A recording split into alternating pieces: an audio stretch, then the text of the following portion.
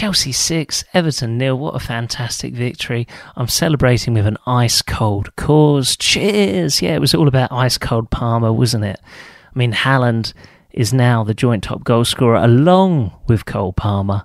Unbelievable. He's just a kid. He's only came in this season in a very young team and he's got 20 goals. I mean, it is unbelievable, isn't it? Or is it 21 goals now? I'm losing count because he's scored so many. He's been a breath of fresh air.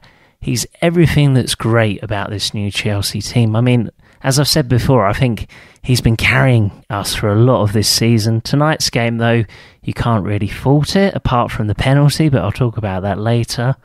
Um, I mean, the first goal from Palmer was genius, wasn't it? The way he showed great control and then he just placed it in the corner, didn't he? It was wonderful.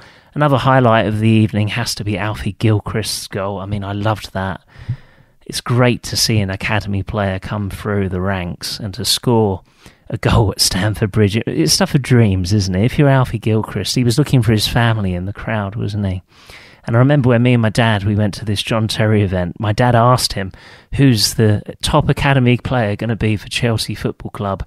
And John Terry said, "Alfie Gilchrist." So watch this space. Hopefully, this is the start of many great things to come. Palmer, I mean, uh, he is unbelievable. Without him, I don't know where we would be this season. He got four goals. And yeah, it would have been 1 0 without him tonight, or rather, it would have been 2 0. Sorry, I've had a couple, as you can imagine. Um, but yeah, it was just so brilliant, wasn't it? And Palmer is a very special player. I'm hoping he's going to be our Kevin De Bruyne, you know, like um, we sold to Man City. We're hoping that anyway, aren't we? Cheers. Yeah, I mean, fantastic. How can you not get excited about tonight's performance? And even after the game, I said this earlier on. I was like, is Pochettino going to say that Palmer is the penalty taker? Because that was ridiculous, wasn't it? That was absolutely ridiculous. The squabble in between Jackson and Madueke. Conor Gallagher did the right thing, though. As captain, he came in, he took the ball, and he said, No, Palmer is the penalty taker. But to be honest, why didn't Pochettino nip this in the bud ages ago. He was asked about it and he didn't confirm who the penalty taker was when he should have just said, Cole Palmer is our penalty taker. And I'm so delighted that he's done that now because it's it's nipped in the bud. We can move on. He's our penalty taker. And hopefully, um, the petulant children like Jackson uh, will learn from this. Yeah. I mean, it's so disappointing, that, that aspect, because that goal from Jackson was wonderful, wasn't it? It was a great finish. It was a proper striker's goal. And then when we got the fifth to do that, it's just like, oh, really? You're going to do that? You're going to put me through that? I, I actually got angry when it was 5 0, and I was like, this is ridiculous. Who gets angry when their team's 5 0? But I was disappointed with that, if I'm honest. But Palmer has to be Young Player of the Year. I think we'd just be above the relegation zone if he wasn't in our team. I think he's been that important, if I'm honest. It's been tonight was the Cole Palmer show. Any other thing you read online tonight saying this is a, a masterclass from the manager or yeah, all the players were fantastic. Mm, no, not for me. I think it was the Cole Palmer show, if I'm honest. Um, even to begin with, earlier on in the game, Gusto he didn't have his best game. Honestly, he was giving the ball away, and I was like, no, because you're one of my favourite players in this new Chelsea team. He's one of the players that actually looks half decent. He looks good, in my opinion, Gusto. Um, people are raving about Caicedo. He played good. I wouldn't say he was incredible. I read things like that online, and I'm like, oh, God, standards have really dropped. Palmer was incredible. Caicedo, he was good. He had a good game. But, you know, we got to expect more of this. Now, hopefully, we can go on a run. I believe the next game is the FA Cup semi final against Man City. Yeah, it's going to be tough, but if we play like that, you never know. And we actually, more than anything, what I'm more delighted with than anything is actually keeping a clean sheet. I mean, I never thought we'd get a clean sheet ever again, you know. I never thought we would. I thought if we conceded one goal, it would be like uh, conceding uh, none, because that's how poor we've been uh, defensively. But no, we didn't consider. There's nothing really to complain about apart from the piano, uh, the penalty fiasco. Rather, I mean that was completely ridiculous, wasn't it? At the end of the game, uh, one step beyond was played for about 30 seconds, and then they put that stupid freed from desire on They should play one step beyond full, and that's it. Just play one step beyond the full version. That's enough. We don't need this freed from desire nonsense. It was a great game to go to, actually. I'm really, I mean, I, will most of the time I always go. Sometimes I don't because I've got commitments somewhere else or whatever, but it's rare. Uh, but tonight I went and I was sort of like, oh, can I be, you know, what's going to happen?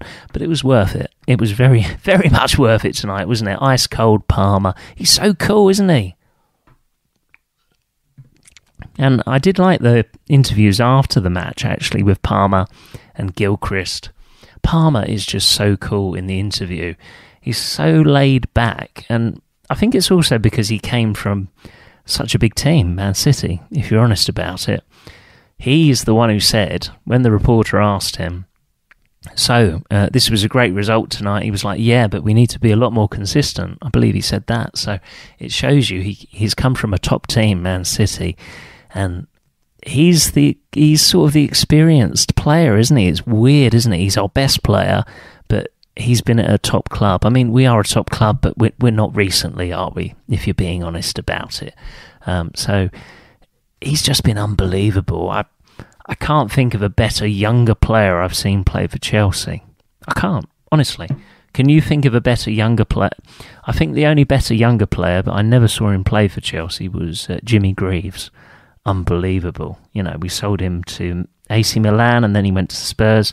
I think when we sold him, uh, he scored three hat tricks in a row before we sold him, but his goal record was ph- phenomenal. Absolutely phenomenal. If you check it out, I can't think off the top of my head what it is, but unbelievable.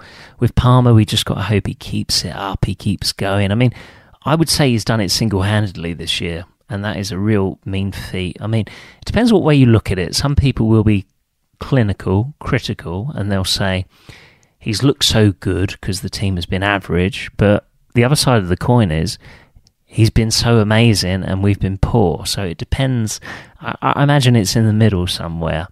But next season, if he gets if he got 15 goals next season or 12 goals, you know, that would still be very good for the kind of player he is. But the fact that he's joint top goal scorer with Haaland, he's going for the golden boot. Unbelievable, isn't it? I mean, that's the thing. It's, it's more about individuals, isn't it? Sort of succeeding at the moment. I mean, that that penalty fiasco was very disappointing, though. Um, I'm glad Pochettino has put it to bed. I will give him credit for that. You know, I'm not a very big Pochettino fan, never have been, but for actually coming out and saying what he should have said ages ago, he's finally done it. So hopefully it's put to bed and we can move forward. I mean, it seems really crazy that a football team wouldn't have a penalty taker.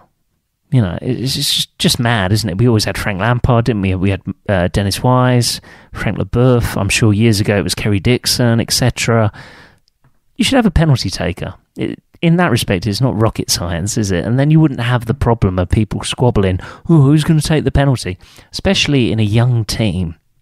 It was Jackson and Madueke, wasn't it? Silva came over, but Gallagher, you have to give credit to Gallagher because he actually sorted it out. He got the ball off of uh, Madueke, I believe it was, or was it Jackson? I'm trying to remember now. I was at the match, so it's a bit. I haven't seen the highlights either. So when you're at the match, it's very different than when you watch it on the TV. You don't actually get everything, even though I think it's better if you go. Um, but you don't necessarily see everything when you're at the match. It's impossible. But what a fantastic performance to beat the Scousers, not Everton, but to beat, uh, not Liverpool rather, but Everton 6 0. Dream stuff, really. And Palmer, he has to win Young Player of the Year, definitely. I mean, he's going to win Chelsea Player of the Year without a doubt. But without him, God knows where we would be. Come on, Chelsea. We're going for that FA Cup semi final next against Man City. You never know. We might have. I'm not going to say it. I'm not going to say. I'm not going to say those three words. you can tell I've had a couple because I had to work out it was three three words. Turned a corner. Yeah. I've had victory drinks. Cheers! Come on, Chelsea. Let's do this. We can finish in the top six. Yeah. Win the FA Cup. Yeah. I've had a few, obviously. Yeah.